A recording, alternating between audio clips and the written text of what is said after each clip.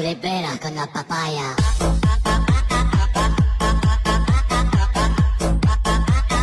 No digáis nada, no os entendería.